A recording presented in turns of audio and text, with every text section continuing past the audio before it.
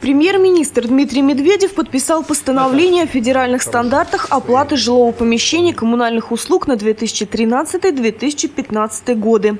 Из документа следует, что не самые богатые из россиян, а именно ивановцы, будут платить почти больше всех в ЦФО. Выше ставки только в Москве и в Московской области.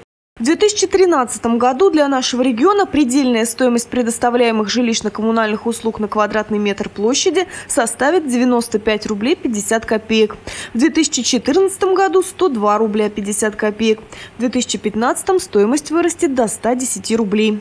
В целом по стране самый высокий федеральный стандарт предельной стоимости предоставляемых жилищно-коммунальных услуг установлен в Дальневосточном федеральном округе.